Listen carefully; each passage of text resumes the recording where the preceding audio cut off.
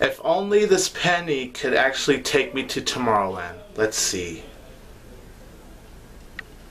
Nope. Just a damn plain penny. Seriously, no sense of magic.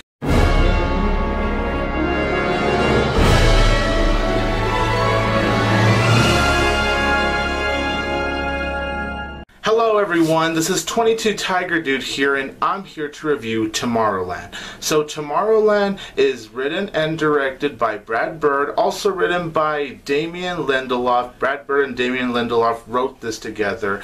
And the film stars Britt Robertson, George Clooney, Hugh Laurie, and Raffey Cassidy. So Tomorrowland, I don't want to go too in depth with the plot. I am just going to say this. Britt Robertson mysteriously discovers this pin for when you touch it, it takes you to Tomorrowland. And there's a little something as to why she needs to go to Tomorrowland, but she can't go unless she has George Clooney take her because he's the only way that she'll be able to get to Tomorrowland and see what the whole mystery is about. So going into Tomorrowland, I have to say that I was so excited for this movie. It was by far one of my most anticipated movies of this year. It's my third most anticipated for the summer of 2015. I love the idea, I love the overall concept, and I love the whole marketing for this movie. So it was just one of those movies I just could not wait to see. And I also have really enjoyed Brad Bird's work.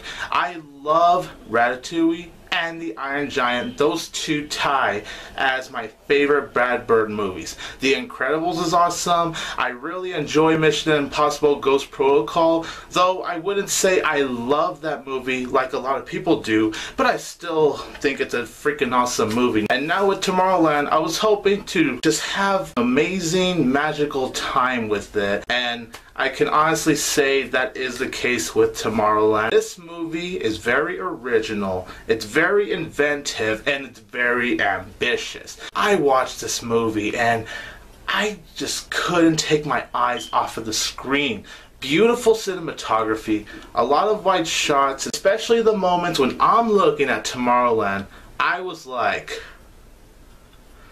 there were moments in this movie where I went, wow, just plain wow. I loved being in this world. I love where the journey was going. It's the journey of going to Tomorrowland that just makes it so awesome. Some people could complain that this is a very slow-paced movie, and I can understand the case why some people will be bored, because the movie does have plenty of slow times, but for me, I was never bored with Tomorrowland, because I cared about these three characters we've been pretty much following throughout most of the movie. George Clooney, Britt Robertson, Raffey Cassidy. I cared about these characters, and they all give give great performances. The three of them give charisma to each of their characters.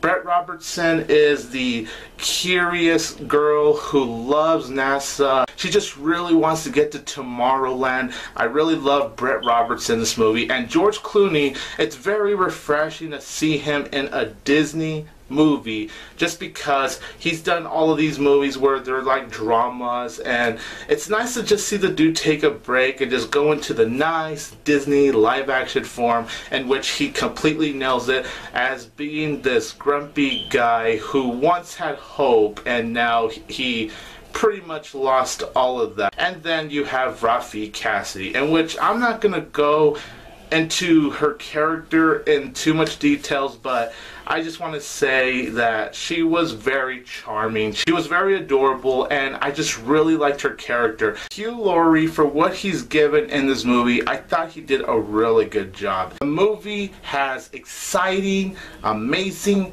action pieces. There's not a whole lot of them, but when there is the action, it is just so awesome. The score sounds beautiful in this movie. Bird's direction is really good. A lot of his shots are very wide. He really wanted you to be immersed into this world of Tomorrowland and the journey that these three characters have. The movie also does have a very thought-provoking message about hope for humanity, how the world can go into chaos, and how we can think so many negative things about the world. But instead of us trying to do something to change that, we just keep being negative about it. And it also does show you that you can always have imagination. Never lose your sense of imagination because having hope and being positive is what helps keep the world going, even with all the negative things going on. And I really really liked how Tomorrowland did that and it made me think a lot when I left the theater. And I also do think most of the humor that was in Tomorrowland was very well done. But there are some problems that I did have with Tomorrowland.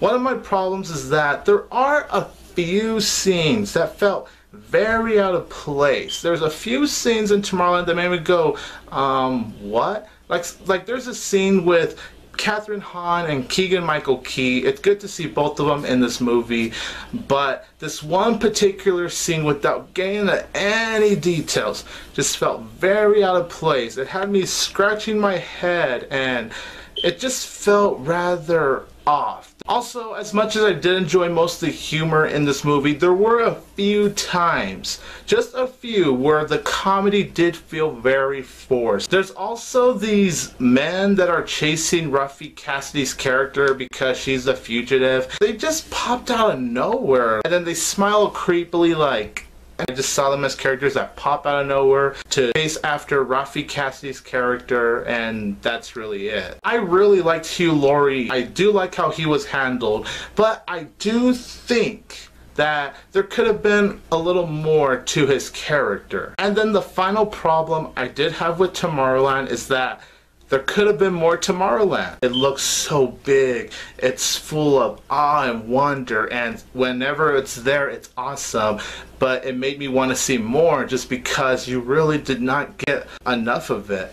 Overall, I really enjoyed Tomorrowland. This is a movie that had me smiling. I loved being in this world. It's very original, it's creative, it's inventive. I even really enjoyed the third act, and I know I'm in the minority with that because that's been getting a lot of criticisms. I love the cinematography. I thought the direction was very well done from Brad Bird. He delivered another home run, in my opinion, and the performances were all outstanding. So I'm going to give Tomorrowland three out of four stars. So everyone, in the comments down below, let me know, what did you think of Tomorrowland? And tell me, what's your favorite Brad Bird movie? Like I said, for me, it's a tie between Ratatouille and The Iron Giant. This is 22 Tiger Dude here, and don't forget that I will always have Tiger Power!